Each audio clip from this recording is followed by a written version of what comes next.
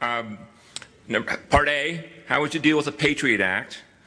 And Part B, how would you deal with the Real ID Act? Two days ago, the Denver Post, I think it was left in all of our rooms here at the hotel.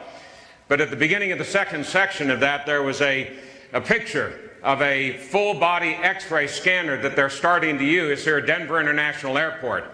That is yet another, man, another manifestation of what is happening in Washington when fear has, be, since fear has become the driving force behind all public policy in our country. What would I do about the Patriot Act, Steve? I'll tell you not just what I would do about the Patriot Act, but what I've been doing against the Patriot Act for the last five years, working with a broad coalition of folks from the ACLU to the ACU and the Libertarian Party and everything in between. And that is working to take the USA Patriot Act, drive a stake through its heart, shoot it, burn it, cut off its head, burn it again, and scatter its ashes to the four corners of the world, and then we'll take what the real problem is and to use the laws and the legitimate power the government has to stop these people, and we don't need the Real ID Act as part of that bargain either.